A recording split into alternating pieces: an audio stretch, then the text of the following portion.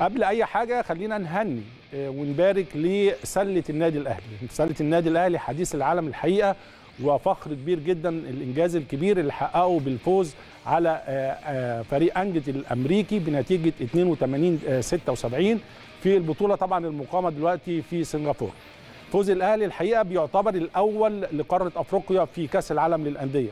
25 خسارة لممثلي القارة الأفريقية في كأس العالم لكرة السلة.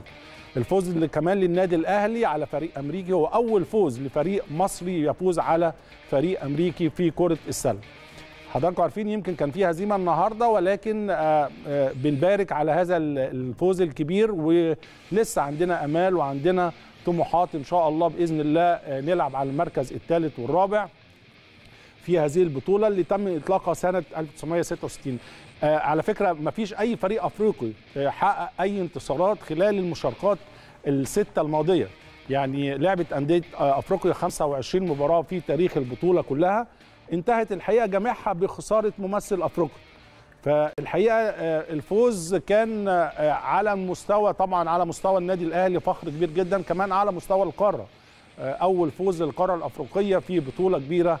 في كأس العالم آه، للأندية في بطولة السلة وإنجاز يحسب ورغم الخسارة الحقيقة النهارده.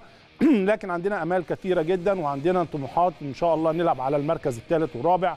وده هيكون كمان إنجاز ل آه، مش بس للنادي الأهلي ممثل القارة الأفريقية على مستوى مصر على مستوى أفريقيا.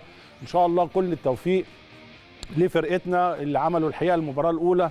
مباراة رائعة جدا آه، وسيطروا سيطرة كاملة على المباراة وكانت مباراة الحقيقة كلنا كنا فخورين بيها.